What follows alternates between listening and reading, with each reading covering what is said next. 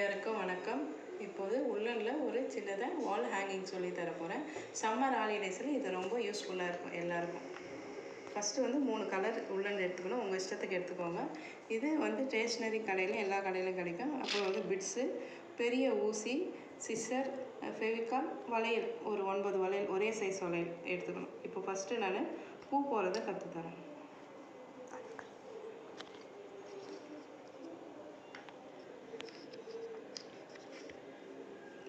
First ஒரு முடி போட்டுக்கணும்.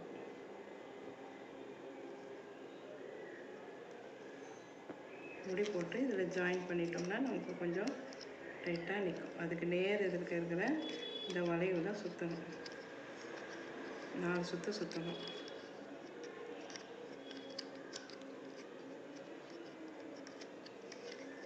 அதுக்கடுத்தது அப்படியே கொஞ்சம் திருப்பிக்கணும். திருப்பிக்கிட்டு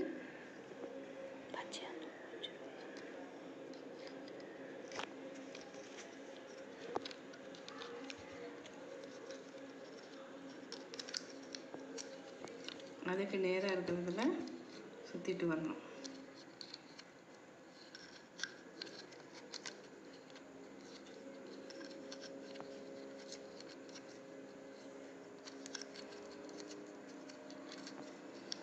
அதுக்கு நெக்ஸ்ட்டு இருக்கிற பக்கத்தில் அதுக்கு நேர் எதிரில் இருக்கிற வளைவில் சுற்றிட்டு வரணும்.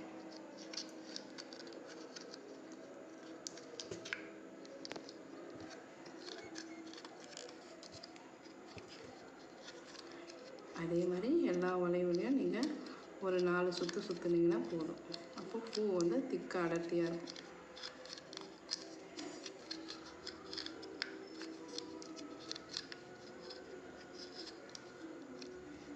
இப்போ நகத்தில் இப்படி தள்ளி விட்டுக்கிங்க வெளியே வராமல் இருக்கும்.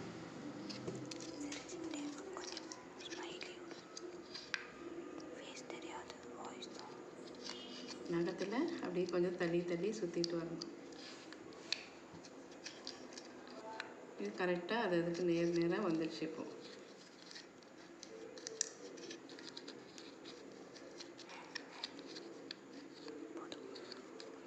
இதை நிறுத்திடணும் நிறுத்திட்டு சிசரில் கட் பண்ணிவிடுங்க கட் பண்ணிட்டு அது அப்படியே இருக்கட்டும். அடுத்தது நடுவில் வேறு கலர் போட்டால் தான் நமக்கு நல்லாயிருக்கும் பூ பார்க்கறதுக்கு.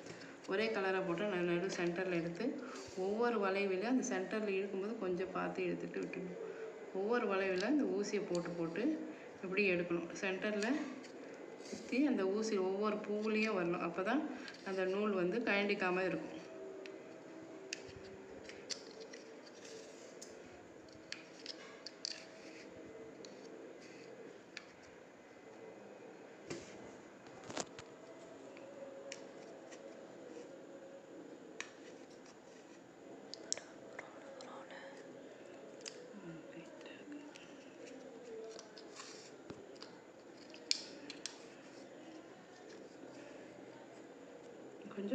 கொஞ்சம் செய்யலாம் டைம் பாஸ் ஆகும். வெயிலில் போகாமல் இருக்கிறது இது நல்ல ஒரு ஹேண்டிக்ராஃப்ட்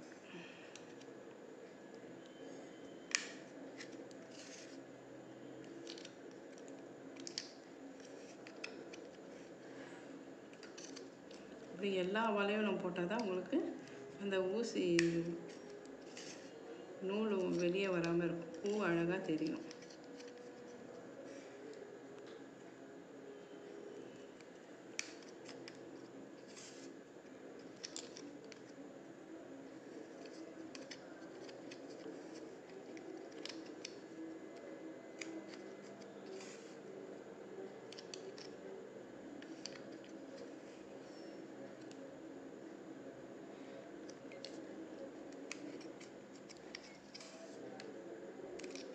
இழுக்கும்போது கொஞ்சம் பார்த்து நல்லா டைட்டாக இழுத்திங்கன்னா பூ ஒரே நல்லா அழகாக வரும்.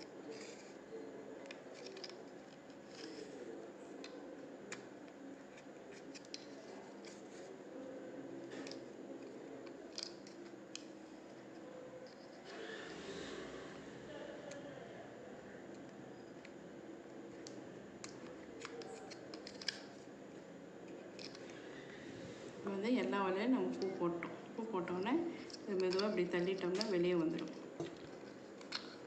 இது ஒவ்வொன்றா தி திருப்பி விட்டோம்னா அது வெளியே அழகாக பூ மாதிரி வந்துடும் இப்போ பின்னாடி வந்து இதை மீதி இருக்கிறத கட் பண்ணிடணும். ஒரு முடிச்சு மாதிரி போட்டு கட் பண்ணோம்னா உங்களுக்கு டைட்டாக இருக்கும் பிஞ்சிக்காமல் இருக்கும்.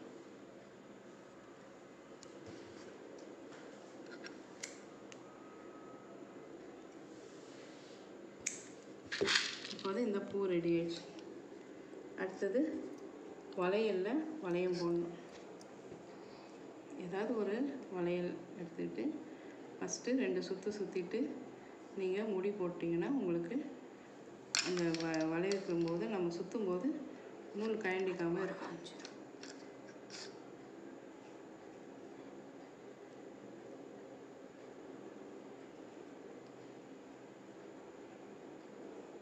இப்போ கேப் இல்லாமல் இதை சுற்றணும் கேப் வந்தாலும் தள்ளிக்கலாம். அது ஒன்றும் பிரச்சனை இல்லை. அடுத்தது இப்போ நாங்கள் ஏற்கனவே செஞ்சுருக்கோம் அதை பார்த்துக்கோங்க.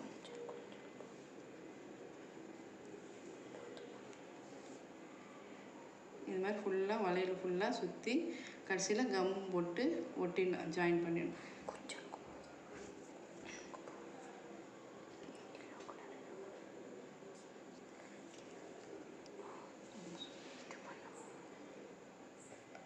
இப்போ வந்து இது சொ எப்படி செய்யறதுன்னு சொல்லித்தரேன்.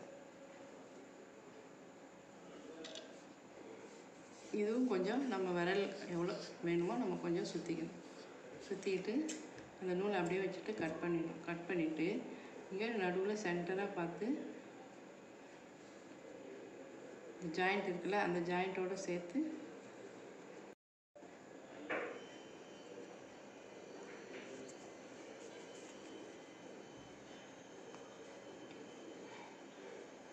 முடி போட்டு அந்த ஜாயிண்ட்டை நம்ம கரெக்டாக பிடிச்சிக்கணும்.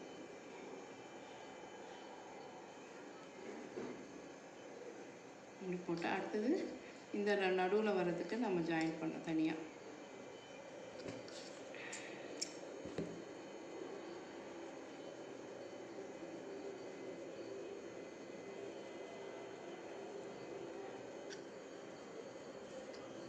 ரெண்டு ரெண்டு சுற்றி சுற்றிட்டு நம்ம மூடி போட்டுடலாம்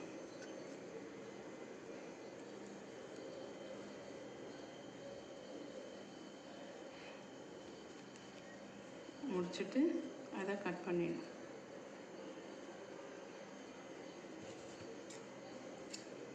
இப்போ இதை எல்லா ஜாயிண்ட்டையும் நம்ம கட் பண்ணிடணும் இப்போ இந்த நூலில் பிட்ஸு போகணும்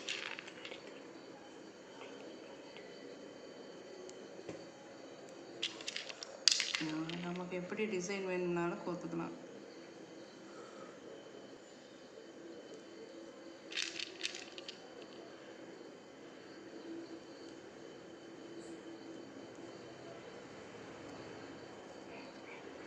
இது வந்து இந்த பூ பண்ணியிருக்கோம் இல்லையா?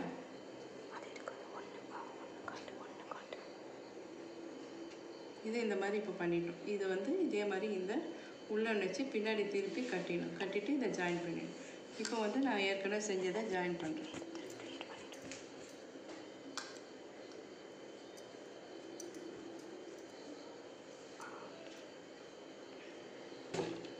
ஏற்கனவே ஜாயின் பண்ணியிருக்கோம். அதை காட்டுறோம்.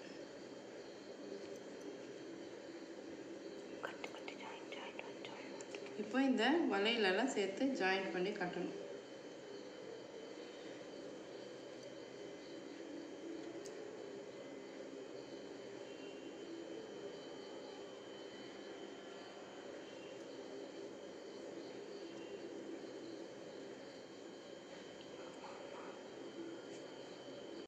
சொல்லலாம் கடைசியாக எல்லாம் ஃபினிஷ் பண்ண அப்புறம் முடி போட்டப்புறம் இந்த மாதிரி வால் ஹேங்கிங் ரெடி ஆயிடுச்சு.